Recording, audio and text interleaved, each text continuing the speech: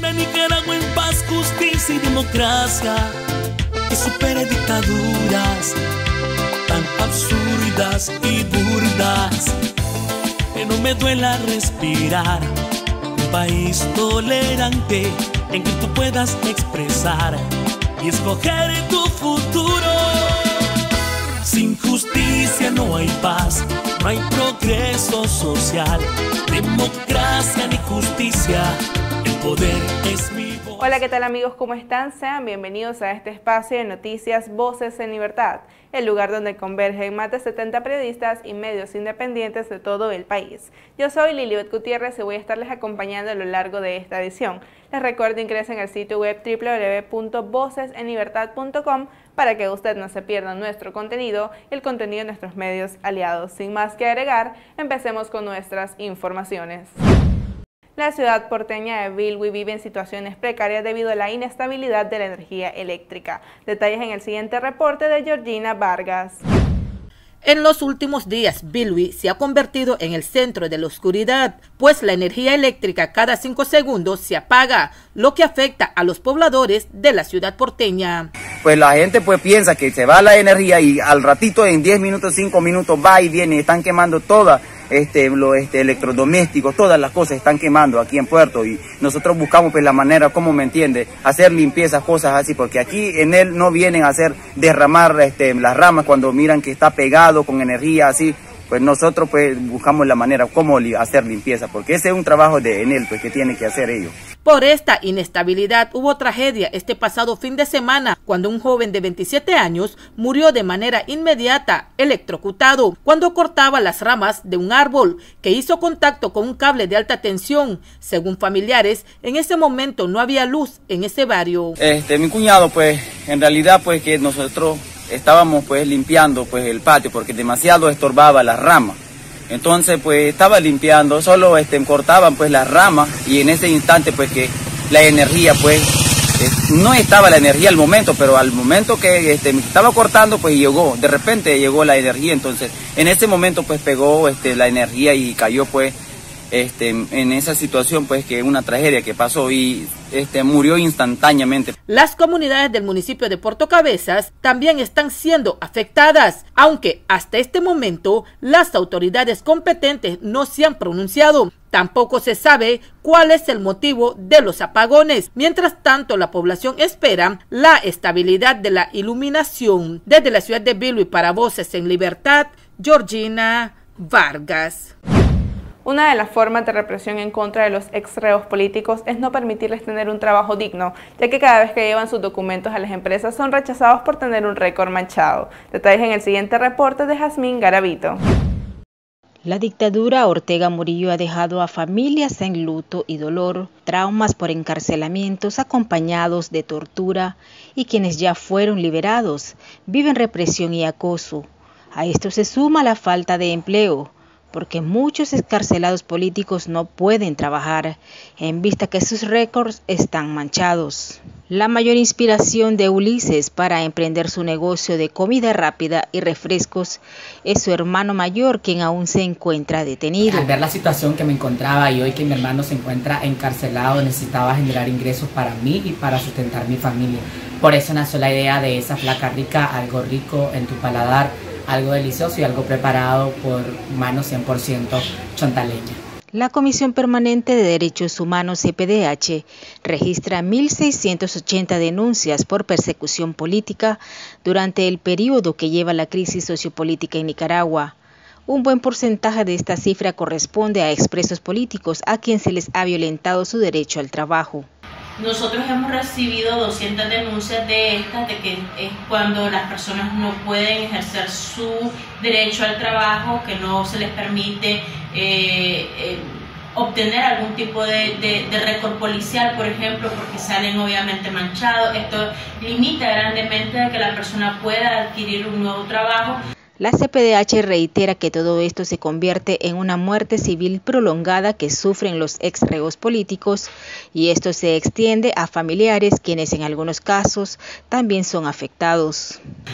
De igual manera, no pueden tampoco poner un pequeño negocio, un, algo de comercio, porque lamentablemente también tenemos el asedio y la persecución por parte de la policía que eh, inmediatamente están a cortos metros de distancia, lo que esto limita que la población llegue a comprarles o que tengan el temor.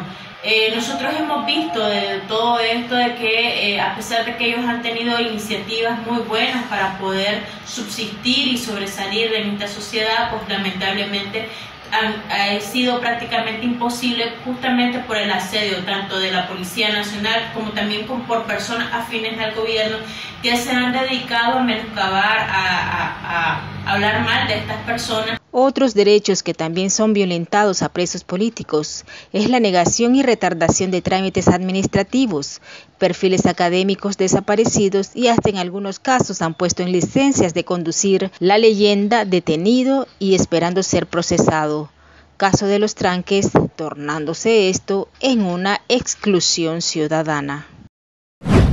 El precio de los productos veterinarios y el bajo costo de las carnes ha sido un problema principal sobre el costo de los operativos en las ciudades de Boaco y Chontales. Detalles en el siguiente reporte de Punto Noticioso altos costos de los productos veterinarios, caminos destruidos y precios inestables de la carne es el drama que enfrentan los productores de Boaco y Chontales, quienes por el momento no ven la luz al fondo del túnel. Carísimo, no se puede comprar. Si se compra uno un vaso de mil y pico, apenas purga lo más algunas cinco y ya se fue.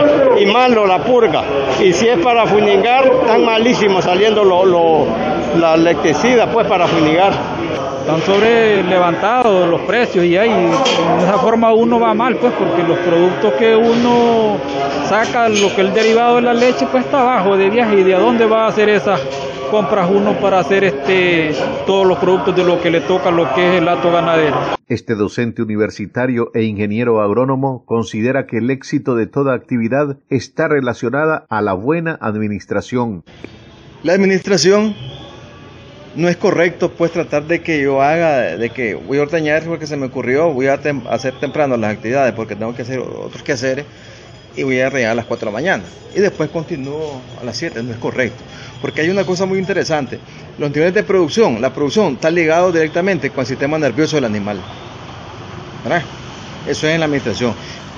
La parte de manejo, fundamental. El manejo no son más que algunas actividades que vos haces, que donde el, el recurso más importante para ejecutar eso es el conocimiento. La difícil situación que viven los productores de Boaco y Chontales les está empujando a algunos a vender poco a poco sus propiedades y otros tienen temor emigrar a una actividad económica diferente. Y de que esto va para más a la quiebra, pues porque hay este, con esa forma de que no hay la forma de ir teniendo más incentivos para buscar cómo mejorar la finca va malo. Muchos están vendiendo, venden dos manzanas, una manzana así para poderse ayudar para ayudarse pues a comprar algo para también la situación como está la comida carísimo. El productor lo que sabe es cuidar la vaca, ordeñar la vaca y, y no sabe no sabemos eh, otras alternativas. Debido al mal momento que pasa la ganadería en estos departamentos, la mayoría de los finqueros no están generando trabajo en sus comunidades, les informó Marvin Antonio Miranda y Bonilla. Debido a la crisis sociopolítica y la actual crisis sanitaria que está enfrentando el país, se han instalado pequeños negocios en la antigua estación de ferrocarril de la ciudad de Chinandega. Detalles en el siguiente reporte de Ricardo Delgado. El sector de la antigua estación de ferrocarril en Chinandega comienza a poblarse de pequeños negocios. Tal es el caso de doña Adela Carcache, habitante del asentamiento Daniel Ortega. Aseguró ante nuestras cámaras que la misma crisis la hizo ubicarse en este lugar para ofrecer desayunos y almuerzos. Lo que pasa es que como por la falta de trabajo, ¿verdad? Entonces uno tiene sus hijos y tiene que buscar cómo darles de comer. Entonces uno a veces emprende, dice, voy a hacer tal cosa para vender, contar la necesidad los hace salir a la calle para trabajar, no buscar cómo robar, pero trabajar, porque hoy en día no hay trabajo. Pero sí, se la salimos a buscar, lo hallamos, porque si vendemos abuelada, ponemos una comida, alguien la va a comprar.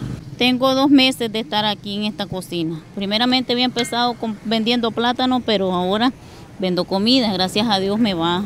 No bien, bien, pero sí, gracias a Dios saco una ganancita allí y la comida de mi casa.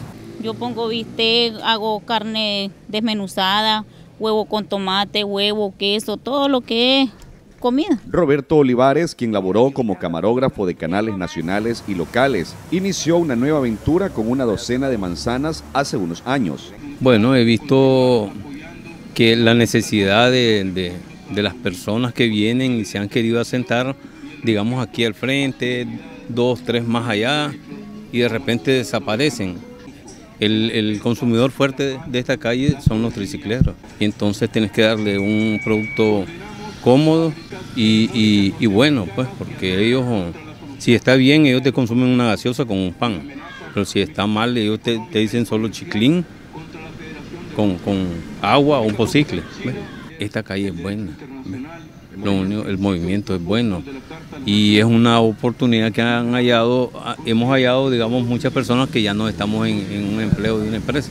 Siete años estuve en el Canal 6, de ahí estuve 12 años para el Canal 12 y en el tiempo ese del Canal 12 también estuve con canales locales. Pues. Llega un momento en que uno tiene que, que cambiar su, su estilo o su ritmo de vida, más, más suave, más, más cómodo. Pues o estamos un poco tensos con, en andar en la calle ya, ya queremos estar más. Don Wilfredo Ruiz es un cliente especial. Recordó cuando viajaba hasta San Juan del Sur en ferrocarril. Él argumenta que es importante apoyar a estos vendedores. Mire, dada la situación económica y la política del gobierno, de que como a veces no tiene para inversiones, ¿verdad? De momento por la misma situación económica, pues da puerta abierta a la gente que ponga sus negocios pueda desarrollarse, porque perfectamente hay trabajo si lo, si lo instalas y lo buscas. Vos sabés que un gobierno puede perfectamente mandar, dice, límpiense las calles, quitan todo eso.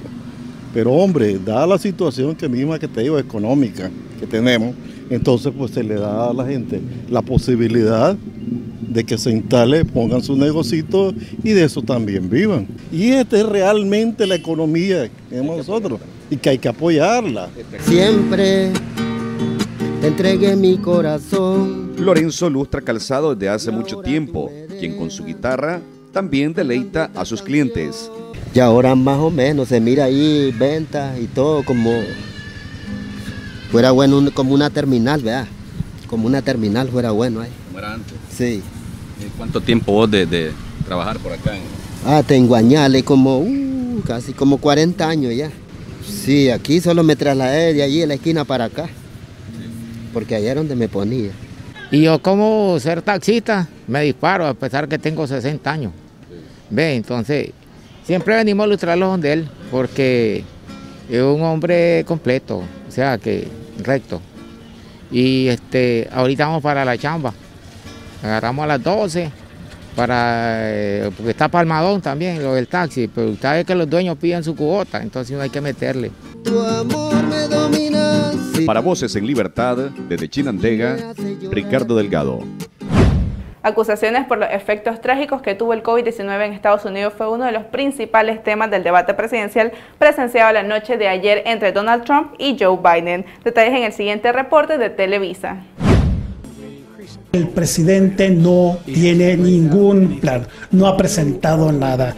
Desde febrero supo lo grave que era esta crisis. Supo que era una enfermedad mortal y ¿qué hizo? Está grabado. Reconoce que lo sabía y no nos avisó porque no quería causar pánico en Estados Unidos. No nos causó pánico a nosotros, entró en pánico él. Sí, te hubiéramos oído, el país habría quedado abierto, habrían muerto millones de personas, no 200 mil personas. Sabemos que esto es culpa de China. Ellos son responsables de esto porque no contuvieron el brote de la pandemia dentro de su territorio.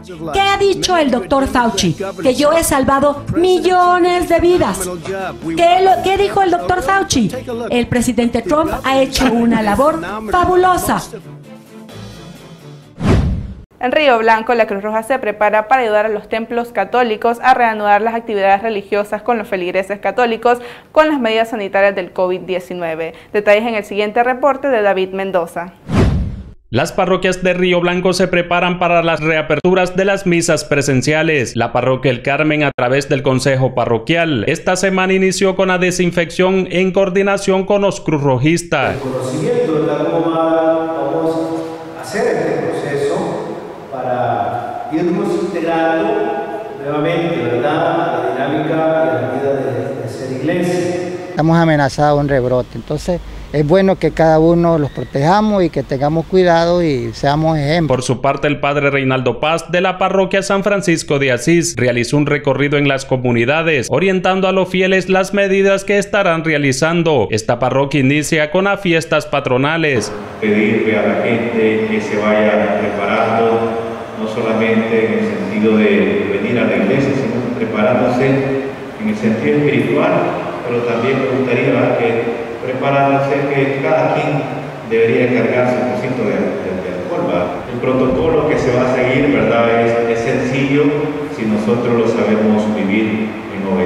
Durante el mes de septiembre, la Iglesia Católica ha estado orientando a sus fieles los protocolos a seguir. Con cámara de Otoniel Mendoza, les informó David Mendoza. Hemos llegado al final de nuestras informaciones. Gracias a todos ustedes por estarnos acompañando en esta edición. Les recuerdo estar visitando nuestras diferentes plataformas digitales. Nos encuentra en Facebook, Instagram, Twitter y YouTube. Así como también invitarlos a que se suscriban a nuestro canal de YouTube, active la campana de notificaciones para que usted no se pierda nuestros videos y siempre se mantenga informado. Le reiteramos tome todas las medidas preventivas frente al coronavirus y que nuestro deber es informar y su derecho es estar informado. Hasta la próxima.